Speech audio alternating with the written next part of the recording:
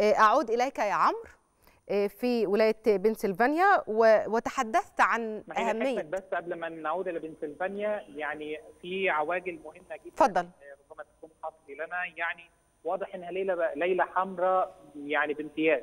آه تفوق واضح في حكام الولايات 25 حاكم فوز 25 حاكم آه لولاية من الولايات من الحزب الجمهوري على حساب 21 حاكم. آه حتى الآن تفوق واضح في الكونجرس بغرفتين للجمهوريين على حساب الديمقراطيين يبدو أنها ليلة حمراء بامتياز وستكون ورقه ورقة حمراء تستمر بها بعد ما نراه من نتائج وتحقق ملموس لحكام الولايات وللكونجرس بغرفتي التشديد النصفي هناك نعم. تقدم واضح جدا للديمقراط للجمهوريين في حكام الولايات وفي الكونجرس بغرفتي الشيوخ والنواب حتى اللحظات التي نلاحظ بها الآن ونتابع النتائج هي ليست فقط نتائج انتخابات رئاسيه نعم. لكن هي بها حكام الولايات وبها الكونجرس بغرفتي وأيضا حكمة الآن وبشكل عاجل تم رفض القانون في فلوريدا الخاص بالاجهاض وهذا كان محور مهم جدا الحديث عنه هارس. أن قضية الاجهاض هي من أهم القضايا الموجودة في الولايات المتحدة الأمريكية كان نعم. يصوت اليوم في فلوريدا على قانون الإجهاض وتم رفضه اذا ستكون فلوريدا ولاية حمراء بامتياز بعد أن تم رفض القانون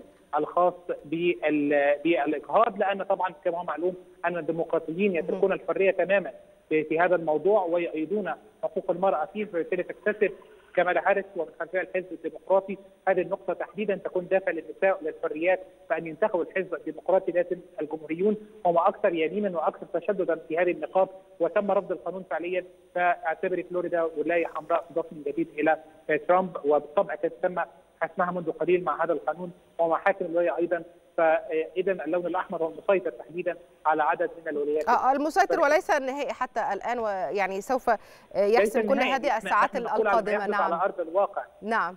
نعم. حتى الآن حكمه ليس على ما نعم. هو قادم. بكل تأكيد يا عمرو تغير الوضع كثيرا مع مع فلوريدا مع مع كاليفورنيا نعم. يختلف الوضع كثيرا أكيد كثير بكل تأكيد من من الأصوات المجمع الانتخابي خلال الفترة القادمة. طيب عمرو نعود إلى محورية هذه الولاية المهمة التي تتواجد نعم.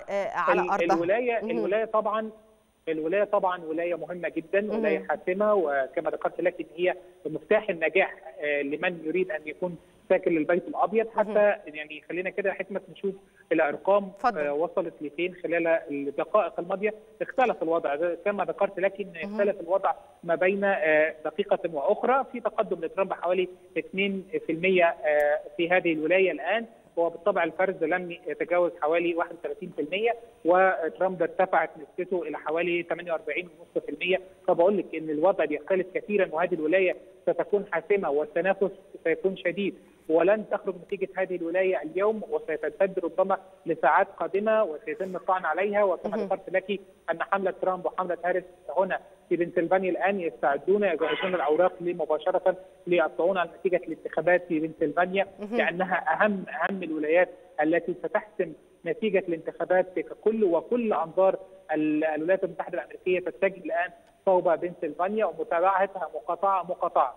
بالمناسبة في إحدى المقاطعات يعني التصويت امتد فيها بحكم المحكمة لمدة ساعتين اضافيتين بدل ما يتم اختتام التصويت الساعة 8 لا التصويت امتد للساعة 10 بحكم محكمة جزئية في ولاية بنسلفانيا بسبب أخطاء في التصويت. وبدايه التصويت كان حصل مجموعة أخطاء اخرت التصويت بشكل واضح فبالتالي ترتب عليه حكم المحكمة لأن يرتفع. أو تزداد ساعات التصويت لمدة ساعتين إضافيتين لتصل إلى الساعة 10 مساء. يعني لسه غلقت اللجنة هذه منذ حوالي 40 دقيقة فقط. نتكلم عن ولاية متراميه الأطراف حكمه يعني الانتقال ما بين أنحاء الولاية من من مقاطعة إلى أخرى ربما يستغرق خمس أو ست ساعات داخل الولاية نعم. فقط. فهي ولاية كبيرة جدا وستستغرق وقت طويل لفرزها والتأكد من نتائجها بعد. نعم عمرو عبد المجيد كنت معنا من ولاية بنسلفانيا وهي ولاية مهمة جدا ودائما معنا في الخدمات الإخبارية القادمة والآن أيضا. شكرا لك جزيلا.